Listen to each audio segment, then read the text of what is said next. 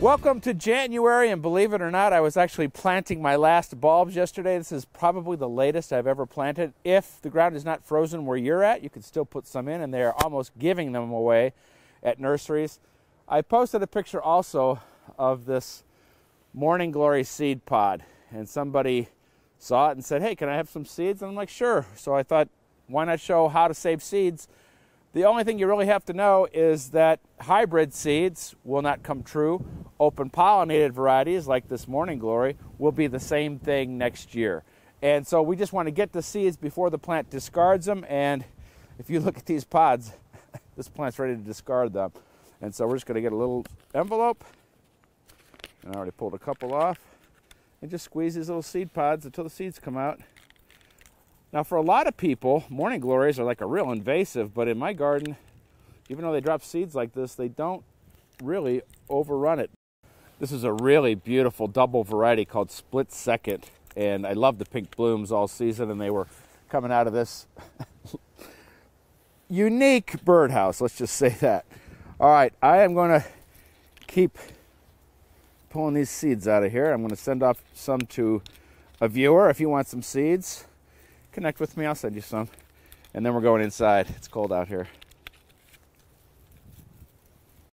And always be sure to label these seed packets and what year they're from. Happy New Year. The Morning Glory seeds now will be stored in an airtight jar, like a mason jar, to keep them dry. That's important. This is a living organism. We keep it dry and cool, and then in the spring we'll plant these. But we're working with some other seeds today these are milkweed seeds, specifically butterfly weed. And this type of seed needs a special treatment called stratification, which just means cold treatment. Out in nature, plant flowers, set seeds, the seeds drop into the soil, they stay there all winter, they get cold, and then in the spring they will sprout. And so there's three different ways to stratify milkweed seeds. The first is just dry. And so we will take a sandwich bag, see the sandwich? And we will just put a little bit of the seed in here and seal it. And whenever we're doing something like this, we're not going to use all our seed because you, you never know. You know, we're kind of not putting all our eggs in one basket by doing this. There's some seeds that way. Another way to stratify the seeds will be to put them first in a moist paper towel. And we'll do that. And we'll fold it over and we'll put it into our sandwich bag.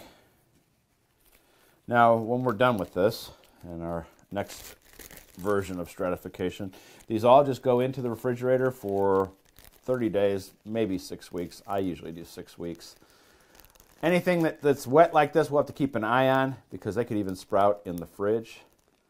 All right, those are ready. And then this type of stratification, we're going to actually sprinkle the seeds onto this planting mix, and that's important to use something like a planting mix, not garden soil or potting soil. This is a very light planting mix that we start our seeds in. Before we put the seeds in, we have moistened the planting mix, and it's it's not soaking wet, it's just a little moist. And take our seeds, sprinkle them in here. Just kind of push them down in there so that they have good contact with the soil. Maybe throw a little bit on top. And that goes into this plastic bag, a bigger one. We will label all the bags so that someone that goes into the refrigerator doesn't think this is something to eat. That would be a bad thing. All right, as I said, these will go in the fridge about six weeks. Then we bring them out. We can start them and we will do a little test here and see which one of these three, when we're ready, is going to be sprouting the best, the best germination rate. Okay, I'm going to label these up, and we have one more seed job to do, and then we're done. Butterfly weed. And I'll put a date on here too. Well, take a look at this mess.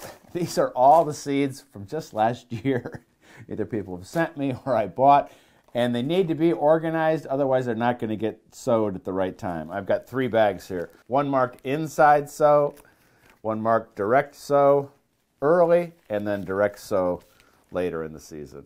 And so I'm going to take all these, I'll get them down to three bags, and hopefully everything will get planted at the right time.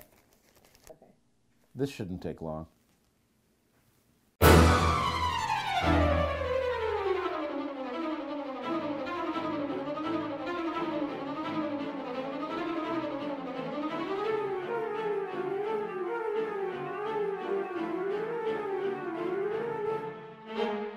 Really red deer tongue lettuce.